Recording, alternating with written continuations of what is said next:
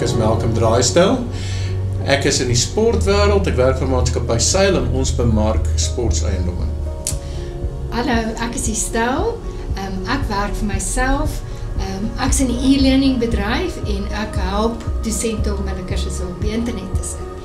Ehm um, so ek het 'n paar jaar gelede 'n bietjie gestudeer en dit het baie druk op ons huwelik geplaas en ook in ons huishouding.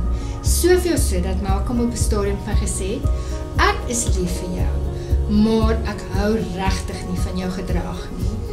Omdat ek met verskriklike baie onsekerheid op daai stadium gedeel het, het ek um, met filters geluister. So ek het gehoor dat hy vir my eintlik sê ek hou nie van jou nie.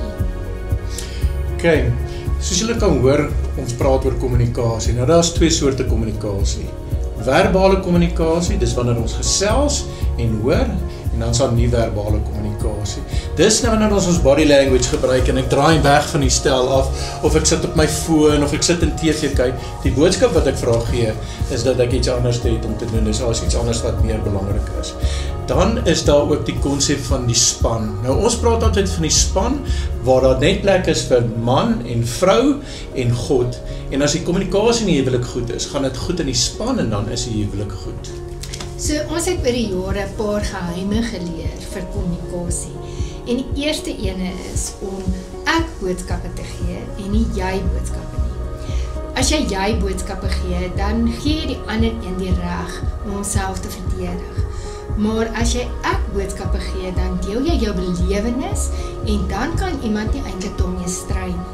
So in in my voorbeeld het Malcolm byvoorbeeld vir my gesê, hy het nie vir my gesê stel jy ehm um, tree verkeerd op nie. Hy het vir my gesê, stel ek beleef jy's onder baie druk en daarom hou ek nie so baie van jou nie. So ehm um, die tweede geheim wat ons geleer het is always assume positive intent.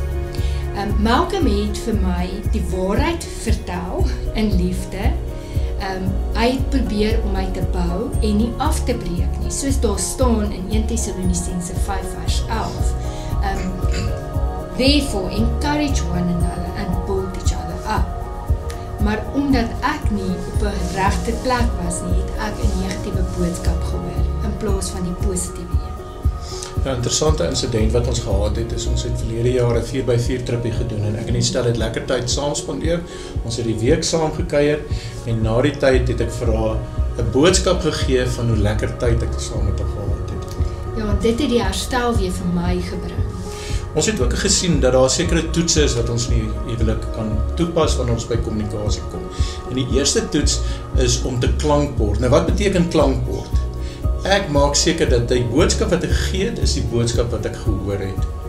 Die tweede een is om te kyk is dit 'n positiewe of 'n negatiewe boodskap. Toe ek vir stel gesê het, ek het die tyd saam met haar geniet, het ek opgebou en nie afgebreek nie. En die derde een is om te kyk, hoor hierso gaan die span wen gaan ek as individu wen? En as ek wen, dan verloor die span altyd.